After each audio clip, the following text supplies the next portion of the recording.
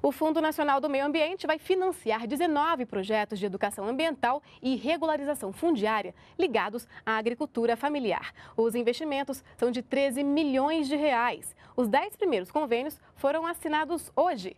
Ao vivo, o repórter Paulo Lassávio tem mais informações. Boa noite, Paulo. Boa noite, Aline. Esses 10 convênios foram assinados hoje à tarde pela ministra do Meio Ambiente e com esses 10 convênios a expectativa é que mais de 1.200 famílias de agricultores familiares sejam beneficiadas em todas as regiões do país. Já quando os 19 projetos estiverem em execução, a expectativa é que mais de 4.200 famílias de agricultores familiares no país sejam beneficiadas.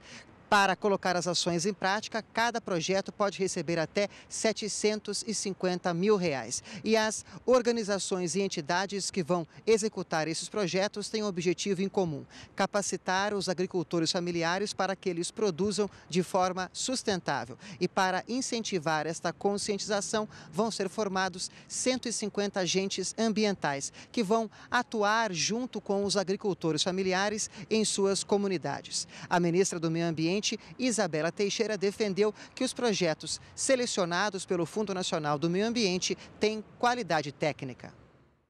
Esse primeiro lote, vamos chamar assim, de aprovação de projetos, foi uma seleção muito dura, porque de 259 saíram 19 projetos.